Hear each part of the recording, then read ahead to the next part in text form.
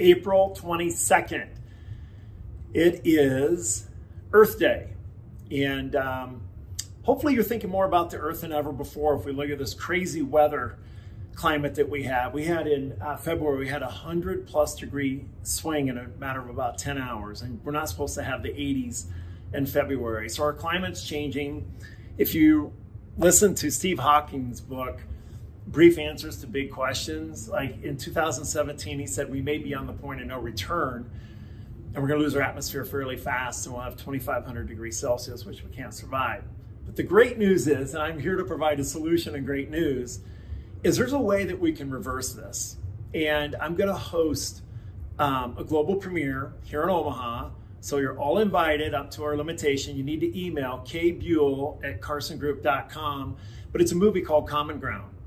Tish, um, uh, Josh Ticknell and his, his wife Rebecca had an opportunity to, to premiere this and uh, or to see it privately at the Sundance Film Festival. And as many of you know, I grew up as a farming family, still very involved in farming, and we're going to change the way we farm. We're going to move into this regenerative model. We're going to have certified organic food because food is a medicine is a big, really important to me. Uh, should be you and future generations and you know all kinds of issues with our food supply. We're going to talk about that. But what's exciting is it's the only way we can sequester the carbon out of the atmosphere. And Josh and Rebecca's goal is to convert 100 million acres over the next 10 years. And by doing that, we reach a tipping point where we actually can do it. Not only is it better food and we can feed the world, listen, we have enough food because we waste so much. That's for another topic and another day.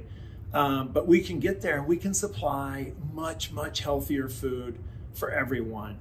And reverse this catastrophic path that we're on that's going to impact the planet. It's like we can see this asteroid coming from years away and we can't get out of our way. Well, it just so happens there's a way of doing it that only produces better food, better for the environment, better for the animals, really better for all stakeholders involved. A true conscious capitalism belief. Um, it's April 22nd. It's at noon. It's over your lunchtime. If you want to come, RSVP with K Buell at carsongroup.com. K Buell at carsongroup.com. I hope to see you there.